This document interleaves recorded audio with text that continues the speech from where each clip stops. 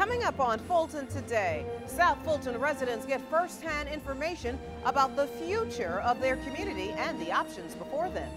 And what happens now that a special grand jury has been requested for the Fulton County Jail? We'll take a look. Fulton Today is next. From the Government Center in downtown Atlanta, you're watching Fulton Today with Shania Chavis. Welcome to Fulton Today, everybody. I'm Shania Chavis. Fulton officials provide South County residents with information on annexation, incorporation, and legislation that could impact their community. FGTV's Jolene Butts Freeman has our story. In the room filled with South Fulton residents, the District 7 Commissioner explained that this meeting would be about the facts only. Facts about incorporation, annexation, and the legislation currently before state lawmakers. We all have to come together as a family, look at all these things, decide what we're going to do, and we're going to move forward. House Bill 704, which will be debated during this General Assembly, if passed, would incorporate the city of South Fulton in Fulton County, provide for a charter for the city of South Fulton, and provide for a referenda, amongst other things. The county's deputy attorney explained the legislation to the crowd.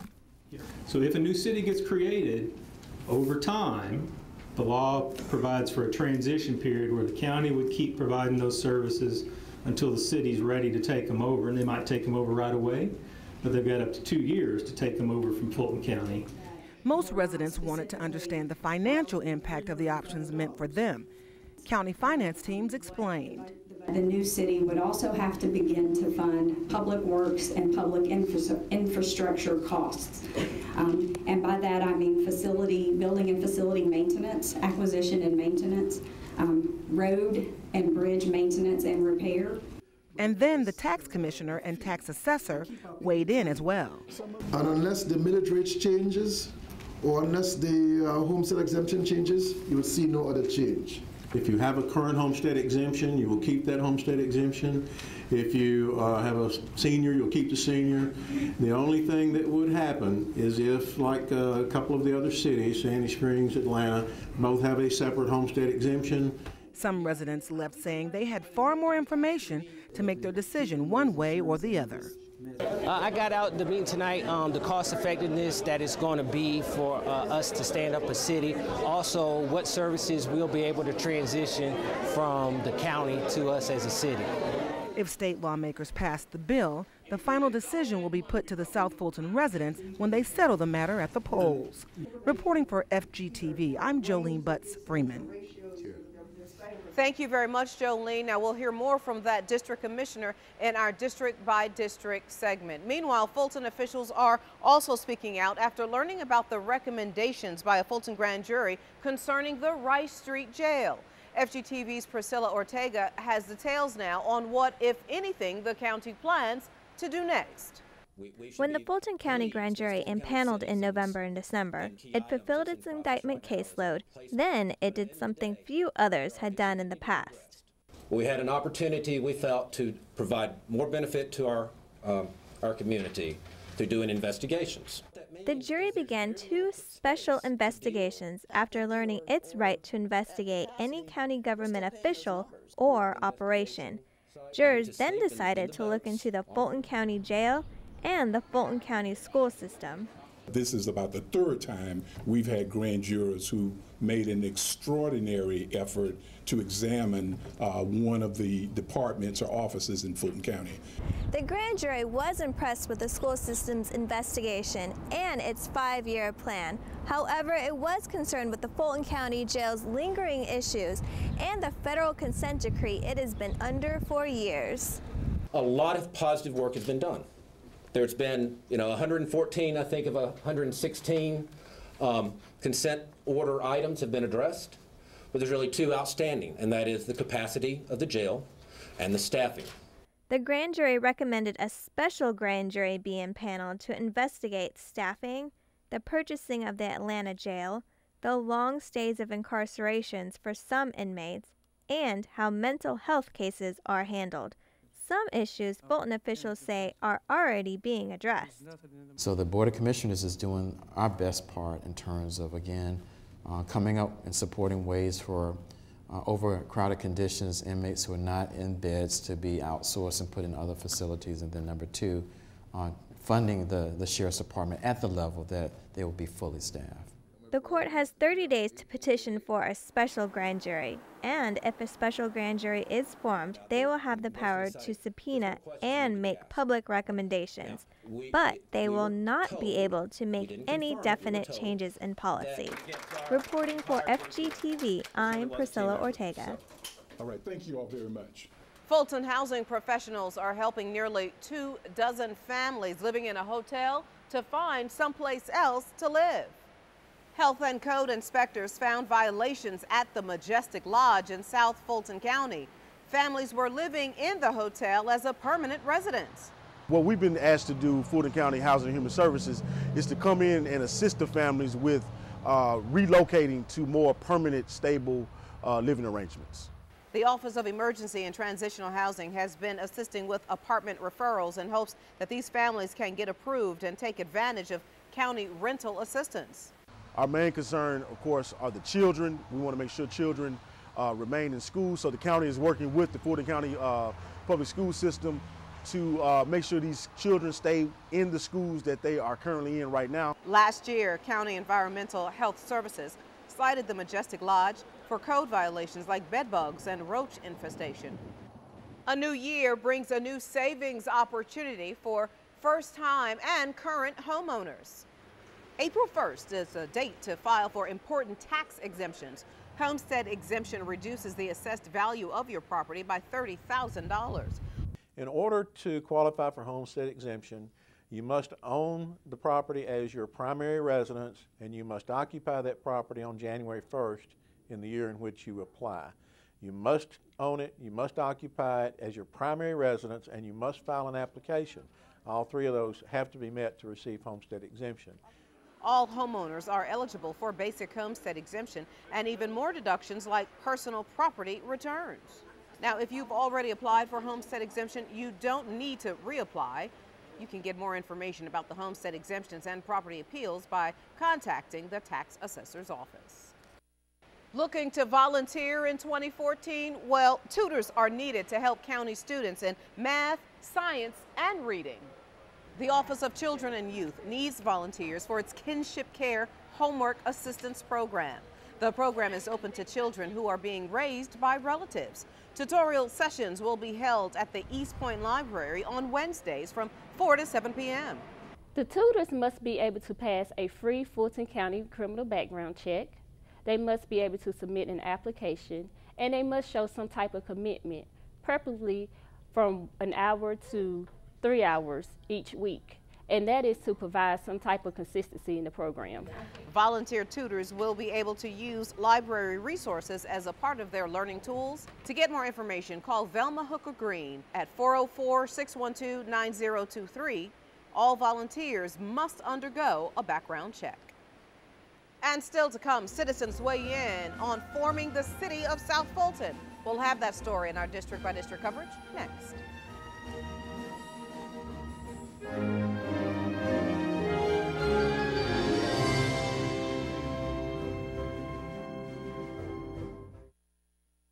You're watching Fulton Today. Residents hear from the South Fulton Commissioner about legislation to incorporate his district, and the push is on to get coats for women and children who need them. Fulton Chairman John Eaves invites the public to help him collect coats for dozens of women and children in the county. The District 1 at-large commissioner is spearheading an initiative for residents of the Atlanta Day Shelter who are in need of warm coats this winter. I'm very pleased and honored to uh, lead this effort. Uh, homelessness in the metro Atlanta area is a big uh, chronic problem. On any given day, 10,000 people are homeless and 40% of them are children and women. And so we're going to the winter months now, and um, so I'm promoting um, um, folks, citizens, community residents to donate clothes, coats specifically, to this effort because we want to make sure that our children are properly clothed and, and are warm during the uh, winter months. Though the official coat drive event is this weekend at the McDonald's on Northside Drive, organizers will not turn coat donations away. Call the shelter at 404 876 2894 or visit their website at atlantadayShelter.org. District 5 Commissioner Emma I. Darnell invites residents to her website to read the transcripts from the recent National Commission on Voting Rights hearing in Atlanta. The Atlanta hearing was held at the King Center and was the first in a series nationwide to collect testimony about voting discrimination and election administration challenges and successes. District 5 seniors attended the hearing to place their concerns about the state's redrawn map of Fulton County districts. Protecting the right to vote is an American citizenship right. No one has the right to remove that. One of the strongest resources which we have in this community, uh, in this county, and in this state is the heritage and history of the struggle for justice and human rights for all people. We are extremely pleased this year to have an opportunity to not only honor one of the great lives lived during the 20th century, Dr. Martin Luther King Jr., but also to have an opportunity by what we do today on behalf of the poor and on behalf of those who still fight for justice to demonstrate that it is our belief that their living has not been in vain. Last year, the Board of Commissioners opposed House Bill 171, stating that it would substantially reduce the ability of minorities to elect candidates of their choice to the Fulton County Board of Commissioners in violation of federal law. And finally, in District 7, as we shared earlier, residents participate in an information and civic engagement session on the future of South Fulton. Commissioner William Bill Edwards hosted the town hall meeting to provide information on incorporation, annexation, and current state legislation. A new bill is before legislators called House Bill 704. The important thing about the meeting tonight is that we're trying to fill in the blanks as to the information that people want. Uh, we had the, the professionals from Fulton County to come in to talk about issues, issues like franchise fees, uh, issues like police, what it costs us. How do we get where we are today and where we're going tomorrow? These details and numbers that we got were insightful, uh, enlightening for us, and um, I also believe that it, it, is, it will put us on track in terms of making a more informed decision than we did. The bill was introduced by State Representative Roger Bruce and, if passed, would call for a referendum to incorporate the city of South Fulton. And up next, the flu season is off to a highly infectious and deadly start. We'll talk to medical officials about what you need to know to protect yourself.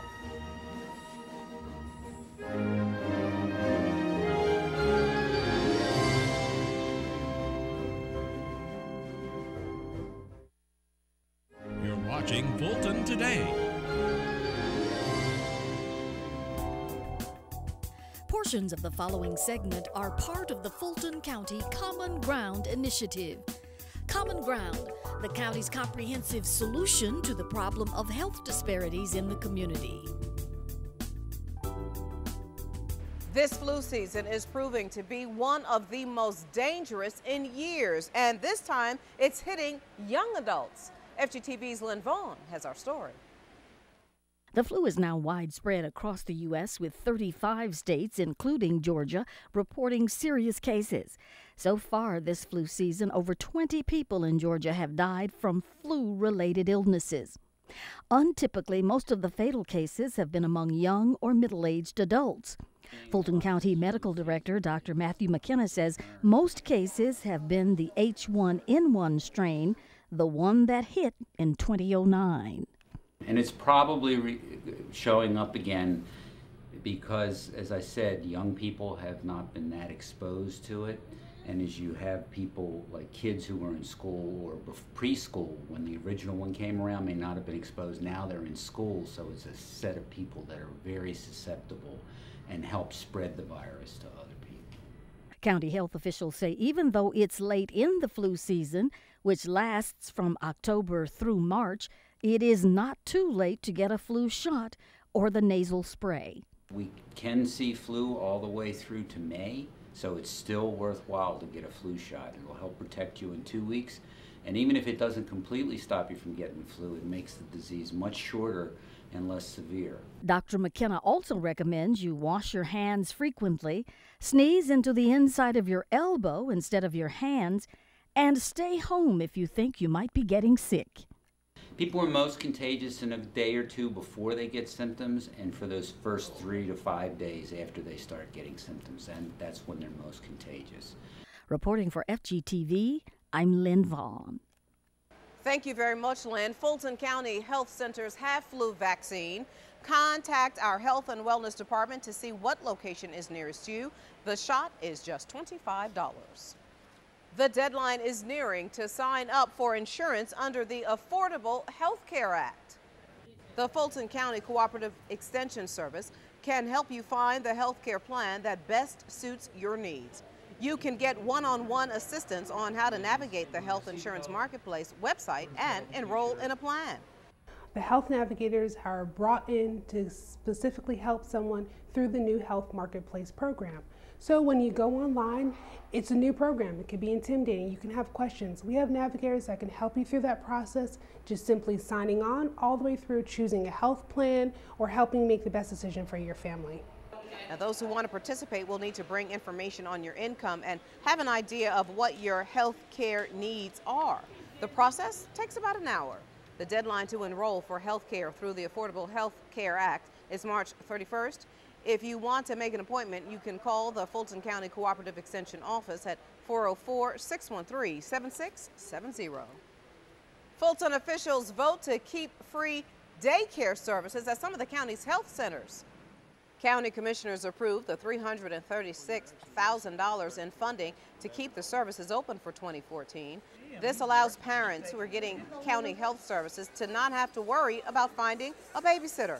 About 4,000 children stayed at the daycares last year. The daycare services are for children 6 months to 10 years old. The services are provided at the North Fulton Annex Health Clinic, Adamsville Health Center, and the Oak Hill Child, Adolescent, and Family Center. And when we come back, we'll take a look at how young citizens interpret this year's Dr. Martin Luther King Jr. holiday. Stay with us.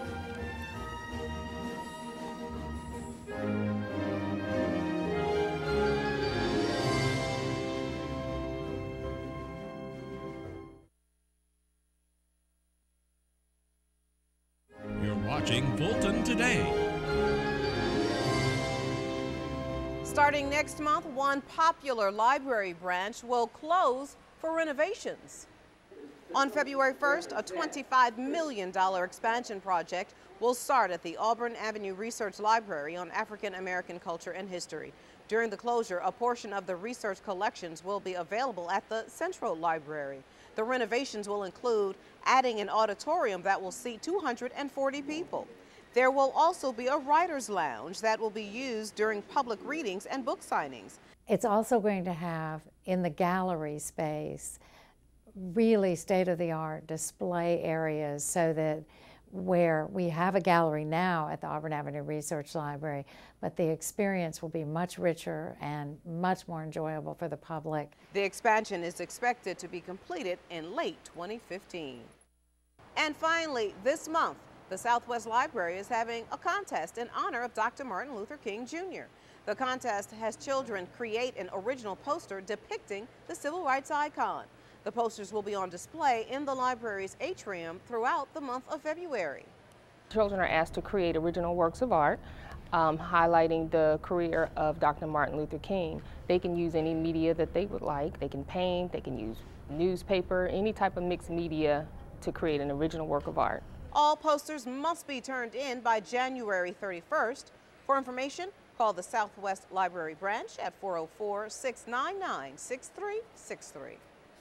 And before we go, our reminder that we'd like to hear from you about the stories and programs right here on FGTV. Go to our website to take a survey or email or call us. The number 404 612 8317. The email address is fgtv.feedback at fultoncountyga.gov. You can also follow us on twitter.com slash FGTV, friend us on Facebook, and watch us on YouTube. Well, that does it for this edition of Fulton Today. I'm Shania Chavis. Thank you for joining us. Join us each week for news around and about Fulton County.